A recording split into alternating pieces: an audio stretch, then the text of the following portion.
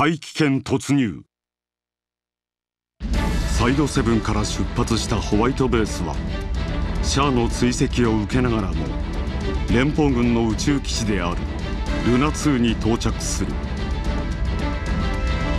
己の身を守るためやむを得ず戦っていたアムロたちはルナ2に着いたことで役目から解放されると考えていた。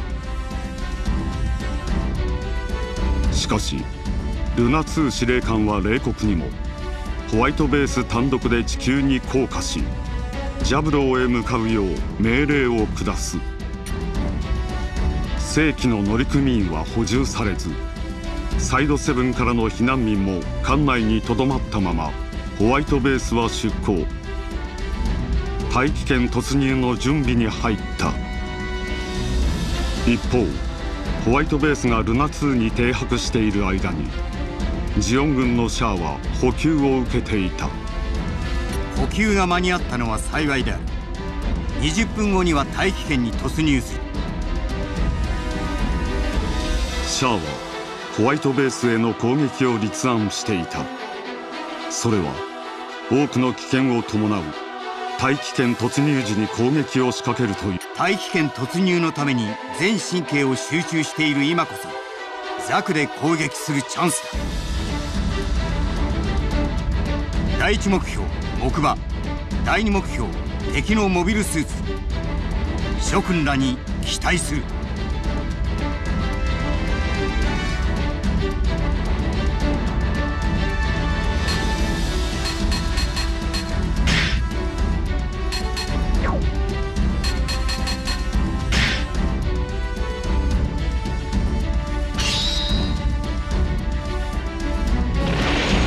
本艦は包囲網突破の後大気圏に突入する。総員第一戦闘配置。アムロ降下地点まで抜かるなよ。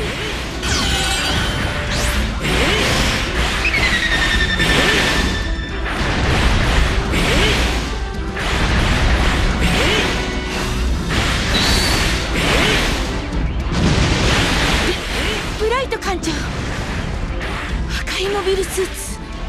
あれって？アムロシャアが来ている。急げ。い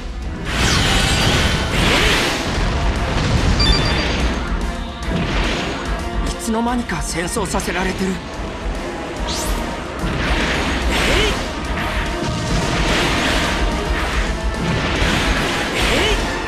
不慣れなパイロット行くぞ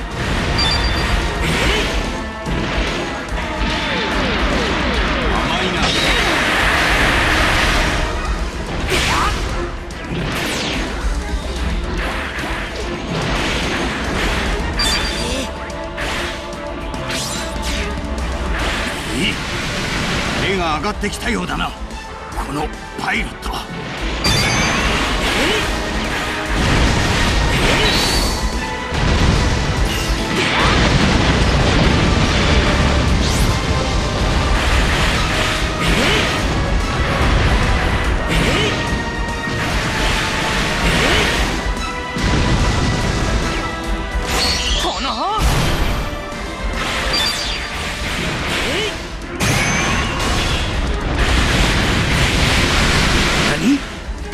敵機が来るだと？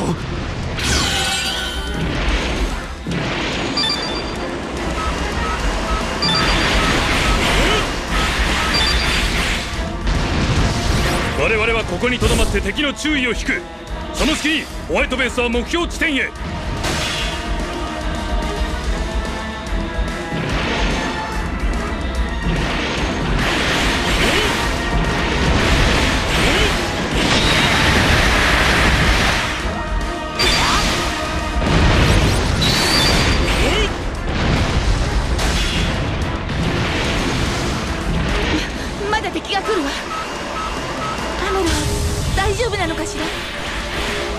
けに多いな。どこかに基地があるのかもしれん。探せ。探せったって。ああそこか？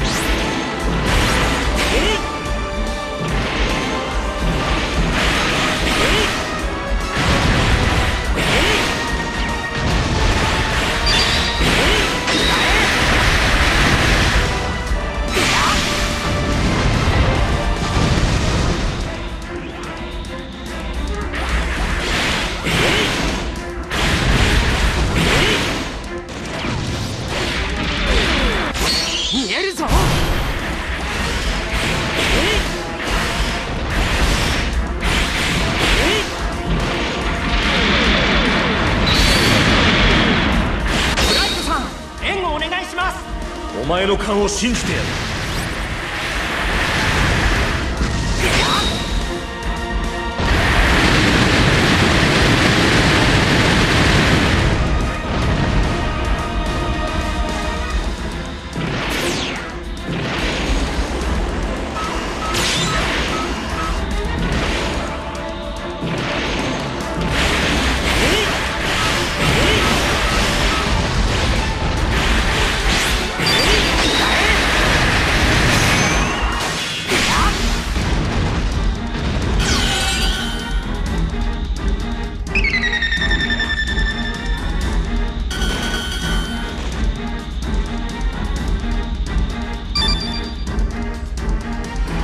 まだ来るのか。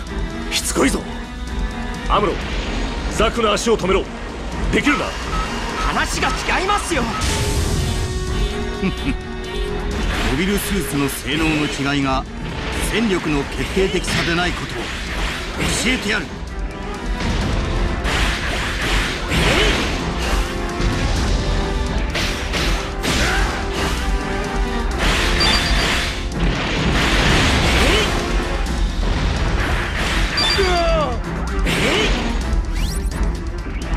した。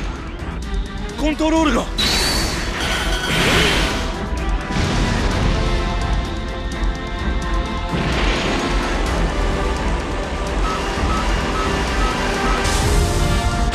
このアムロならできるわ。けど無理はしないで。ええ連邦のモビルスーツは化け物か？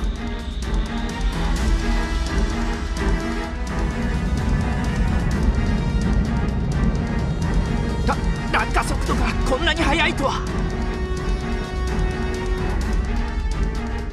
調査。さあ調査。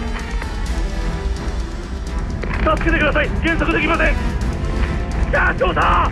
助けてください。クラウザクには大気圏を突破する性能はない気の毒だしかしクラウ無駄死にではないぞ。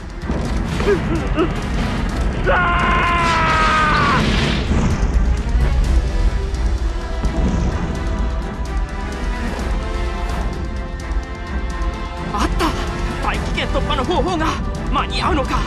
冷却シフト耐熱フィールド前回の接続。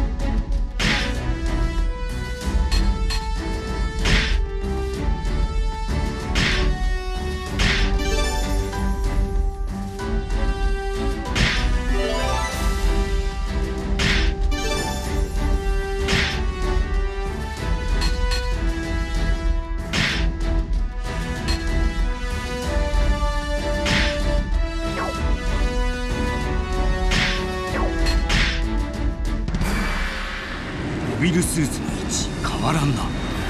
燃え尽きもしない。あのモビルスーツ単独で大気圏を突破できる能力を持っているというのか。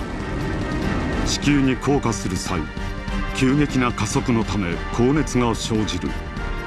そのため大気圏を突破する性能のない機体は降下中に燃え尽きてしまう。大気圏突破性能を有するホワイトベースは無事に地球に降下できたがガンダムは電波障害か。ガンダムはどうした？無事なのか？映像回復します。うわガンダムが無事です。アムロが。ガンダム持ってくれたか？無線回復着艦します